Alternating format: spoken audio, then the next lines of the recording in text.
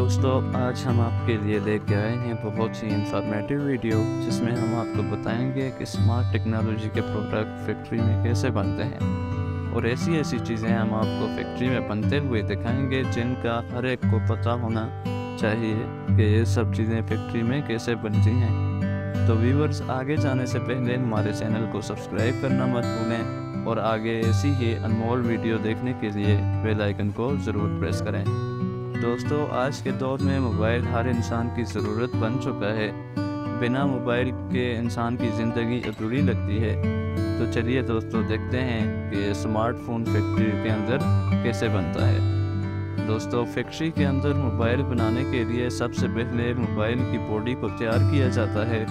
Mobile की body को तैयार करने के लिए सबसे पहले एक एलुमिनियम की बड़ी शीट को मशीन में रख कर मोबाइल के साइज़ के छोटे छोटे पीस काट लिए जाते हैं। फिर इनको जहाँ जहाँ से काटना सुराख करना या स्क्रू लगाना होता है, वहाँ वहाँ से इस मशीन की मदद से मोबाइल की बॉडी को काटा और सुराख किया जाता है।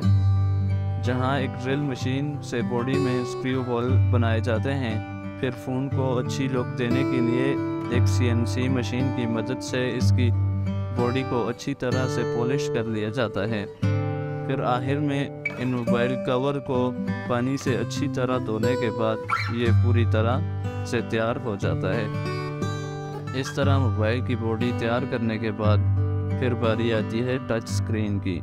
मोबाइल की टच स्क्रीन को तैयार करने के लिए सबसे पहले फैक्ट्री के अंदर बहुत बड़े ग्लास को मोबाइल की स्क्रीन के साइज़ के मुताबिक काट लिया जाता है।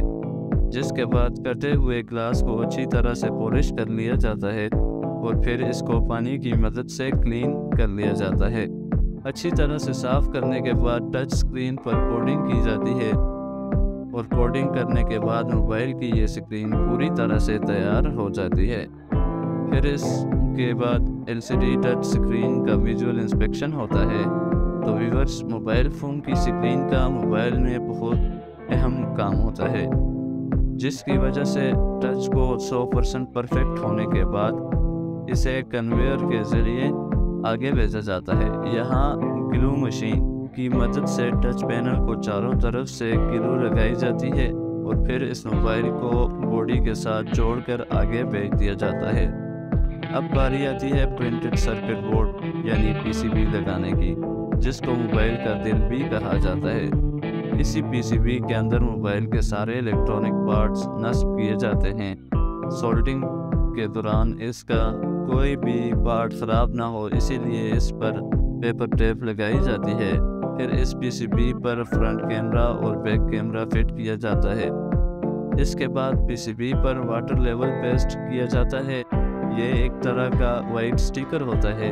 अगर फ़ोन पानी में गिरता है तो मोबाइल की रिपेयरिंग के वक्त पता चल जाता है कि ये मोबाइल पानी में गिरा था। क्योंकि मोबाइल जब पानी में गिरता है तो इस स्टिकर का रंग लाल हो जाता है। अब बारी आती है माइक्रोफोन लगाने की, जो कि मोबाइल का बहुत ही इम्पोर्टेंट हिस्सा होता है, जिससे आपकी आवाज़ दूसरे मोबाइल तक पहुँचती है।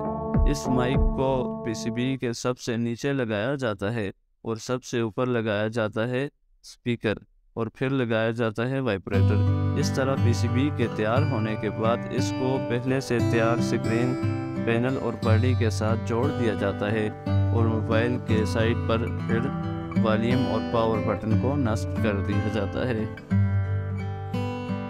और फिर इसके बाद मोबाइल में वाईफाई और जीएसएम को फिट किया जाता है, जिसके बाद बारी आती है इसके कैमरे पर स्टिकर लगाने की और अब बारी आती है मोबाइल फ़ोन के टेस्टिंग की।